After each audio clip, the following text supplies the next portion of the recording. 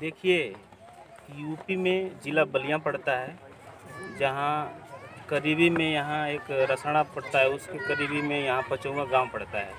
वहाँ आज ये कार्यक्रम रखा गया था भीम चर्चा जागरूकता मंच, ग्राम सभा पचौवा में, जिसके मुख्य अतिथि हमारे माननीय सुभाष राम सर हैं।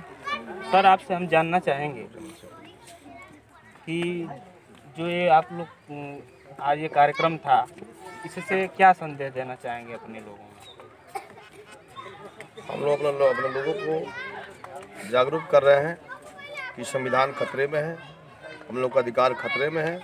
जैसे आप देख रहे हैं कि अभी जो है एन आर सी ए सी ए ये तमाम व्यवस्था है, हमको दूर करने के लिए किया जा रहा है। आज हमारे देश में, हमारे देश के लोगों को ना जो- का नमक खाने के, पीने की व्यवस्था नहीं है। रहने का घर नहीं है।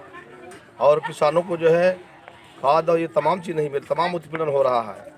अब दैवी आपदा ये पानी से, बाढ़ से, इसको, इसके देश देश के देश के शासन, प्रशासन ख्याल नहीं है।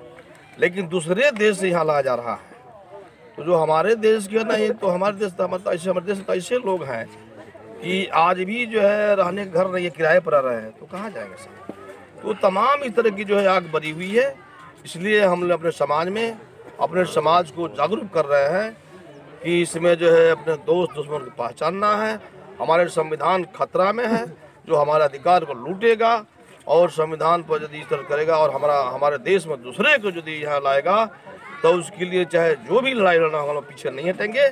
इसके लिए हम बढ़ चढ़ कर जो है, चाहे अनुसूचित जात हो, चाहे दलित हो, चाहे बैकवर्ड हो, चाहे शोषित समाज हो, चाहे गरीब समाज हो चाहे किसान लोग हों, हम लोग सभी बढ़ चढ़ कर भाग लेंगे और इसको उखाड़ कर फेंकने का काम करेंगे।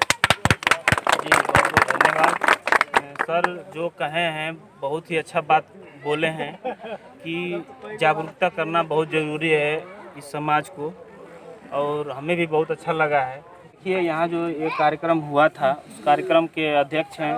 सर आपको कैसा लगता है ये ऐसे कार्यक्रम कराने में?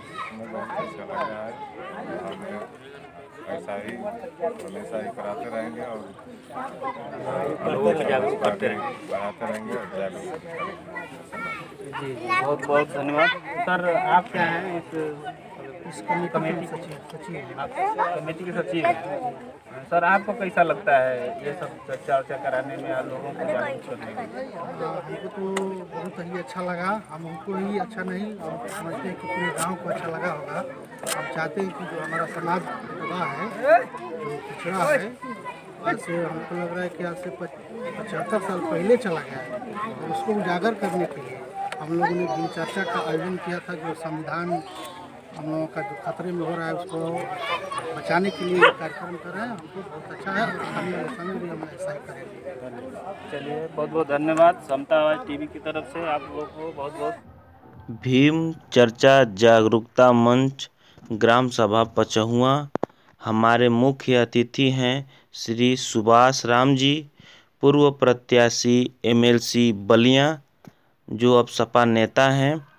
विषय भारत का संविधान, सामाजिक, आर्थिक, परिवेश और बाबा साहब भीमराव अंबेडकर के विचार। बहुत ही अच्छा लगा। इसी के साथ बहुत बहुत धन्यवाद।